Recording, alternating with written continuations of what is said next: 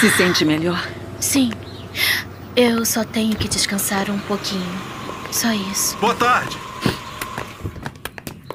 Desculpe por virmos incomodar neste momento, mas precisamos falar com vocês. Falem. Queremos informar que a perícia determinou como o incêndio foi provocado. Vocês têm certeza? Sim, porque encontraram no local alguns recipientes com restos de gasolina que foi usada para provocar o incêndio. Meu Deus do céu. E quem poderia ter feito isso? Nós ainda não sabemos, mas já começamos a investigação. Mostre o que encontramos. Encontramos este brinco no local do crime. Reconhecem? Deixa eu ver. Deixa eu ver. Meu Deus.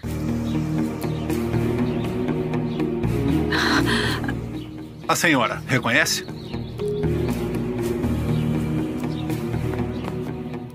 Sim. Esse brinco é da Renata Valência. A sobrinha do meu marido. A senhora realmente tem certeza? Tenho. E eu não estranharia se o que aconteceu a meu marido tivesse sido obra dela. Ah, por favor, mamãe, não pode acusá-la de uma coisa tão grave simplesmente por ter visto um brinco. Por favor, Lucrécia. Você já esqueceu que ela estava furiosa com seu pai e comigo porque a expulsamos daqui? Eu sei. Mas de qualquer maneira, a Renata nunca teria se atrevido a fazer nada assim. Bom, nesse momento não podemos acusar ninguém. Mas é importante falarmos com a senhorita Valência para que ela esclareça como foi que esse brinco foi parar no depósito. Onde podemos encontrá-la? Eu não sei. Você sabe? Hum, eu não, eu também não. Tem certeza? Ontem eu a vi e ela me disse que estava vivendo com uma mulher maravilhosa. Uma mulher que gostava muito do meu pai. Claro. Justina Almada. Por que acha isso? Porque eu conheço sua prima. E ela com certeza se referia a ela. A essa miserável maldita.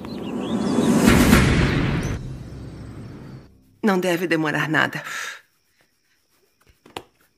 Renata, esses senhores querem falar com você. Sobre o quê? Isso aqui é seu? É. Mas onde encontraram? Encontramos no depósito onde morreu o senhor Paulino Córdoba. Peraí. Um momento. Vocês não estão pensando que eu. Sente-se, por favor. Precisamos fazer algumas perguntas. Não se preocupe. Não vai acontecer nada, meu amor. Vou ligar para o Luciano. Não creio que seja para tanto. A senhorita não precisa de um advogado. Pelo menos, não por enquanto.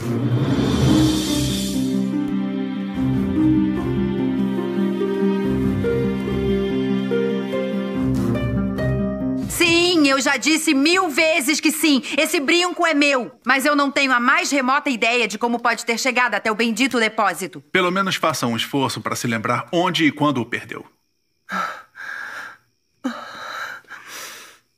Olha, a única coisa que eu me lembro é que eu perdi no dia em que eu saí da fazenda. Porque quando eu cheguei na pensão já tinha caído. Você não entende que já não me interessa ficar com você de que jeito quer que eu te diga. Não, mas só que você não pode me abandonar nesse momento, meu amor. Eu preciso de você e você de mais mim. que meu amor, mais que meu amor que nada. Me solta! Vai procurar o Juliano para te consolar. Ah, já me lembrei onde foi que eu perdi. Na casa dos Souza. E também já sei por que que o encontraram no lugar onde o meu tio morreu. Por quê? Porque o Carmelo Souza colocou lá pra me culpar. Foi ele quem matou o meu tio.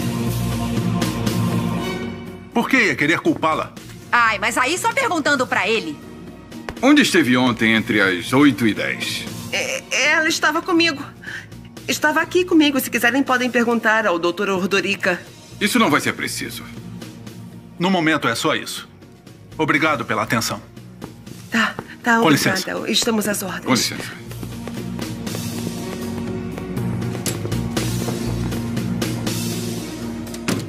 É sério.